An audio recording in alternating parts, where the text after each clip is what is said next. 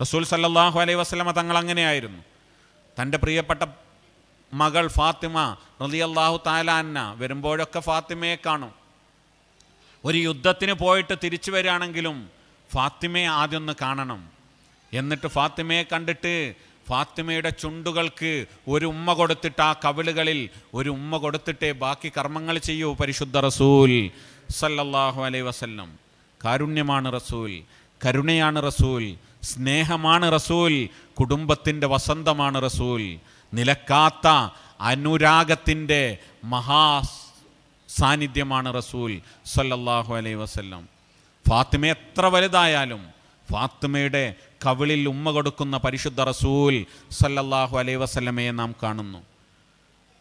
മാറ്റി നിർത്താനാവാത്ത അനുരാഗത്തിന്റെ ബന്ധത്തിന്റെ പ്രേമത്തിന്റെ പ്രമത്തതയുടെ കനിവിന്റെ അലയൊലികളാണ് പരിശുദ്ധ റസൂലിന്റെ ജീവിതത്തിലുടനീളം കാണാൻ സാധിക്കുന്നത്.